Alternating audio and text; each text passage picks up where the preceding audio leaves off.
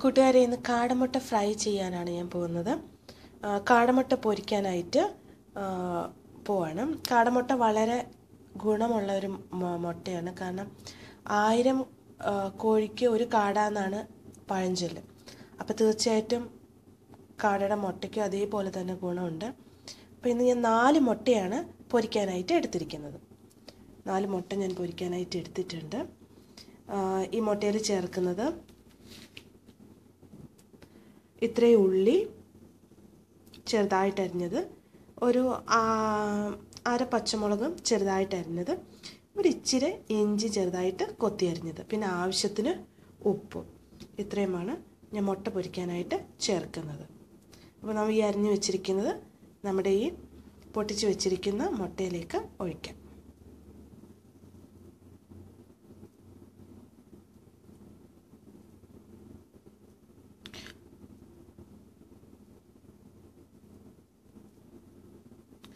അപ്പം ഞാൻ മുട്ടയിലേക്കെല്ലാം ചേർത്തിട്ടുണ്ട്. അരിഞ്ഞു വെച്ച ഉള്ളി പച്ചമുളക് ഇച്ചിരി ഇഞ്ചി ഉപ്പ് ആവശ്യത്തിന് ഉപ്പും ചേർത്ത് ഉപ്പും ചേർത്ത മുട്ടയാണിത്. ഇനി നമുക്ക് നന്നായിട്ട് ഇത് അടിച്ചെടുക്കാം.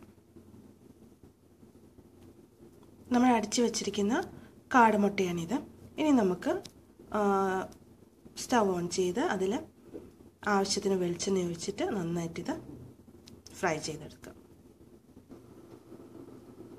ഇപ്പോൾ ചട്ടി വെച്ചിട്ടുണ്ട് ചൂടാവാനായിട്ട്. അതിൽ അല്പം വെളിച്ചെണ്ണ ഒഴിച്ചിട്ട് നമുക്ക് മുട്ട അതിലേക്ക് ഒഴിക്കാം. നമ്മുടെ മുട്ട ഇപ്പോൾ ഞാൻ ചീനച്ചട്ടിയിലോട്ട് ഒഴിച്ചു. വേഗം തുടങ്ങിയിട്ടുണ്ട്. കാരണം ഇതിൽ കൂടുതലായിട്ട് ഉള്ളി ചേർക്കുന്നുണ്ട്. അപ്പോൾ അത് നന്നായി നല്ലൊരു ടേസ്റ്റ് നമുക്ക് കഴിക്കുമ്പോൾ തോന്നും. അത് ന്യൂജനായിട്ടുള്ള ആൾക്കാർക്ക് എഗ്ഗ് ഫ്രൈ ഉണ്ടാക്കാൻ അറിയാത്ത ആൾക്കാർക്ക് വേണ്ടിയിട്ടുള്ളതാണ്. കാരണം മുത്തശ്ശിമാർക്കും അമ്മമാർക്കും ഒക്കെ തീർച്ചയായിട്ടും നല്ല രീതിയിൽ തന്നെ മുട്ട പൊരിക്കാൻ അറിയുന്നവരാണ്.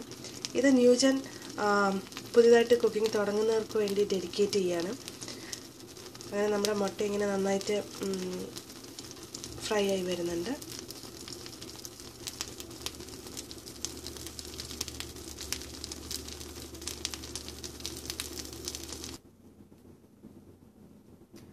അപ്പം നമ്മുടെ കാടമുട്ട ഫ്രൈ റെഡിയാണ്.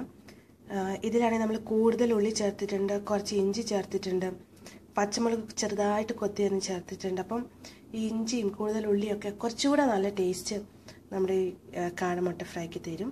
അതിന്റെ പുതിയ ന്യൂജൻ ആൾക്കാരൊക്കെ ഈ രീതിയിൽ ട്രൈ ചെയ്ത് നോക്കണം. നല്ല ടേസ്റ്റ് ആയിരിക്കും. എല്ലാവരും ട്രൈ ചെയ്യുമെന്ന് വിചാരിക്കുന്നു. ബൈ.